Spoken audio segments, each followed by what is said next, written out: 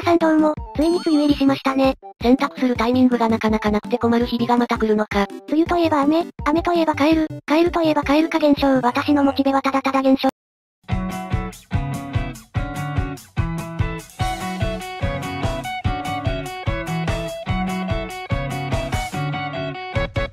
ゆっくりしてるかい？レイムさんですよ。マリサだぜ。農家になるマインクラフトパート3。今回は大きめの小麦畑を作るわよ。おほう小麦畑か。一気に雰囲気が出そうだな。せやろ？ううわえせ関西弁だきっしょ。シンプル悪口。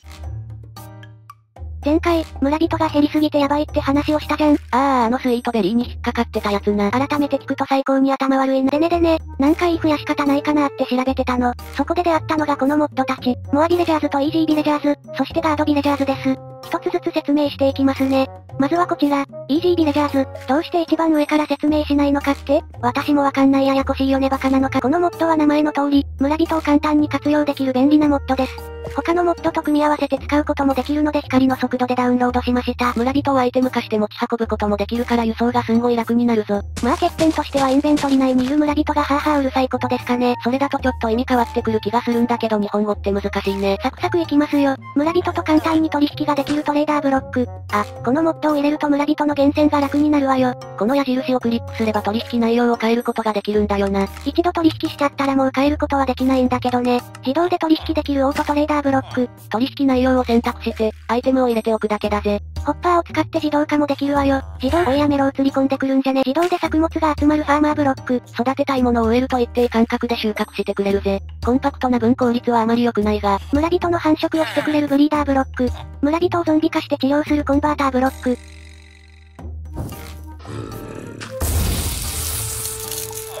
1マスゴーレムトラップのアイアンファームブロック。1マスでゴーレムトラップ？村人を入れれば時々ゴーレムが湧いて自動で処理されるみたい。お手軽な分効率は控えめで1時間で1スタックくらいかな。それでも便利すぎるくらいだな。あとは子供が早く成長するインキュベーターブロックなんかがあるわ。続いてはガードビレジャーズ。名前の通り、護衛村人を追加するモッドです。増やし方も簡単で、ニートに剣かクロスボウを持たせるだけ。いやん超お手軽。これで夜でも少し作業がしやすくなりますね。村の英雄の効果がついていれば護衛村人の細かい設定ができるようになるわ。防具を着せたりアイテムを持たせたりもできるぜ。プレイヤーに追尾させたり、特定のエリアを巡回させることもできるのよ。これは安心感があっていいな。最後に紹介するのはモアビレジャーズ。このモッドは新しい役職を追加するモッドです。海関連の取引が可能な海洋学者、木材関連の取引が可能なフォレスター、ネザー関連の取引が可能なネザーオロジスト、エンド関連の取引が可能なエンダーオロジスト、回路関連の取引が可能なエンジニア、植物とか蜂関連の取引ができる花屋さん、そしてモンスター関連の取引が可能なハンター、などとこれまた便利なモッドとなっております。そいじゃ早速だけど村人を増やしてみようと思うわよ。ここで監禁保護している村人たちを連れて行こうと思います。あ、はい。ファン1スタックはあげたはずなのに一人も生まれなかったのよね。こんなとこ閉じ込められてんだからな。回収回収。マジで持ち運びができるの便利すぎるよな。気持ちはマリサ見てみて。お人形さんごっこ、幸せにすることを誓います。誰だお前。村人で遊ぶな。ブリーダーブロックの作り方は簡単。ガラスをヘルメットみたいに置いて、下に鉄と木材。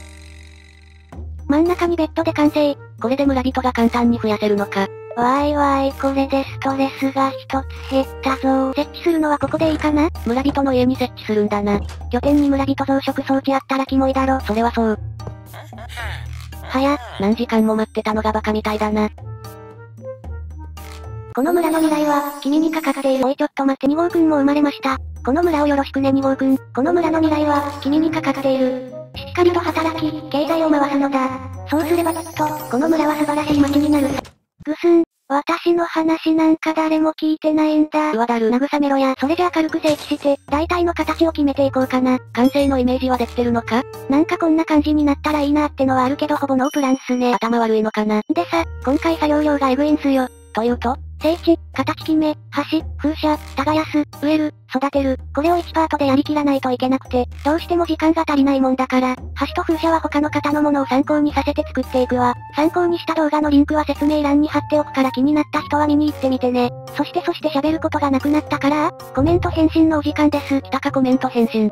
編集お疲れ様でした。登録者1000人の頃から見てます。これからも体にお気をつけて頑張ってください。えへへへへありがとう。体にも気をつけつつ頑張ります。みんなも体は大事にしろよな。月1くらいで断食するのおすすめ。なんで私たちが健康のアドバイスしてんだよ。うぽつです。編集お疲れ様です。農場作りいいですね頑張ってください。米返しスクショしちゃいましたへへへ。やっぱ立ち絵かわいい。ありがとうございます。まあレイムさんは天才美少女ですからね。この人ツイッターでも米返し喜んでたよな。また返信されちゃったね。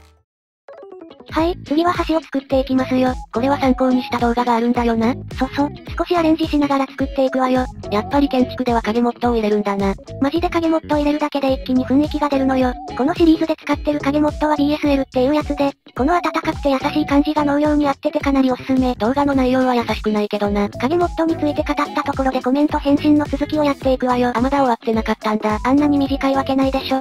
農業に反応してきちゃいました。これからも楽しみにしてますね。ようこそ我がチャンネルへ。次回の動画も楽しみに待っててね。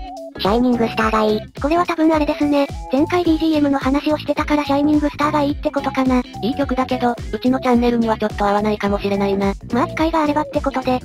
さてさてコメント返信も終わったしまた話すことがなくなりましたね。当然のように言うな。ああそういえば、みんな Twitter やってますか？もしもやっているならフォローしてほしいなとか思っちゃってたり、最近フォロワー減ったしな。うるさいうるさい。アンケート取ったり撮影の裏側とか、落書きもちょくちょく上げてるから気になったら気軽に見に来てみてねとこれで橋も完成だな。そしたら次は風車ね。これも参考にした動画があるから説明欄に URL を貼っておくわ。建築シーンを流し始めたところ悪いんだが、動画の尺的にここはカットしていただきたいところでございます。え？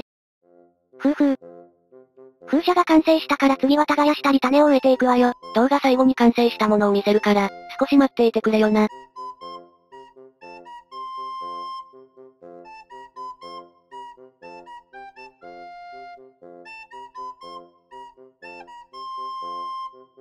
む？魚なんて集めてどうしたんだ？まさか、わからないというの？うんわかんない。少しは考えろや。さあさあご覧なさい。ああ猫か。って名付けるんだな。イグザクトリー、そろそろ我が家にも家族が欲しくてですね。そのうち狼も手なずけたいけど、まずは猫さんですね。そういえばあの出番の少ない猫はどうなったんだ？んなもん知るか。あらやだ辛辣。ほ、ラスト1個で懐きましたね。かわいいかわいいかわいいかわいいかわいかわいかわいかわいかわいかわいかわいかわいさあさあ猫さん、これからよろしくね。で、名前はどうするんだああ名前、名前ね。プリンセスエンジェルハーツ賛成。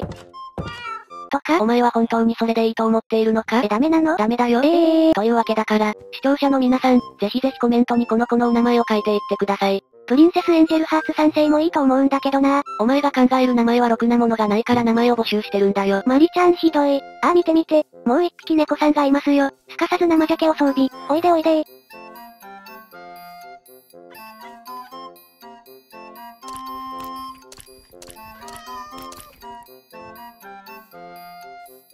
や、さーせー。うんこの子の名前はどうしようかな。キング強力コングロング2世とか？えなに強力子？ダメだ。やっぱりこいつはダメだ。視聴者の皆さん、じゃ虎の猫さんと白黒の猫さんの名前を考えてくれると助かるぜ。いややっぱりプリンセ猫さんも手なずけられたことだし、畑に種を植えていくわよ。ここからがまた大変なんだよな。小麦の種も持てるだけ持ったし。すんごい量だな。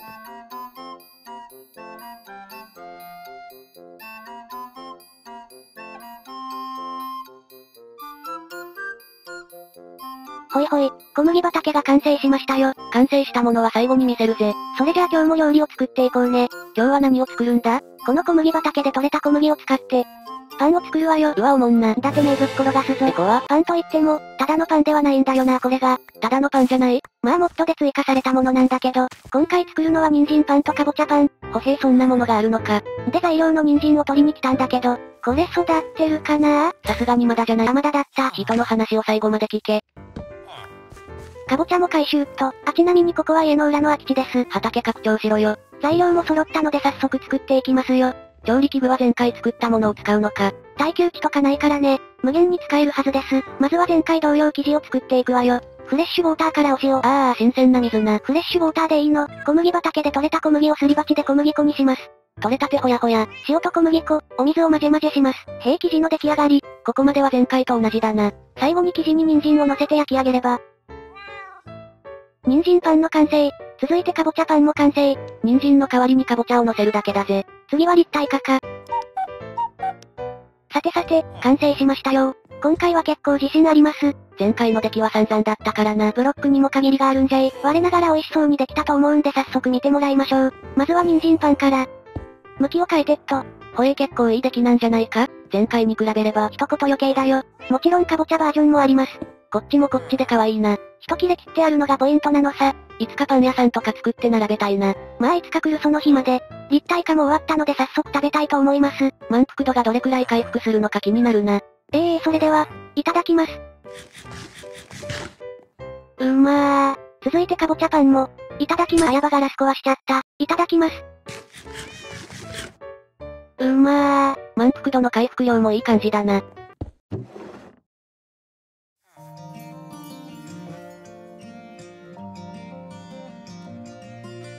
それじゃあ小麦畑の紹介をしていきますか。おお、いい感じになってるじゃないか。さすが影もっと。私の建築を褒めろや。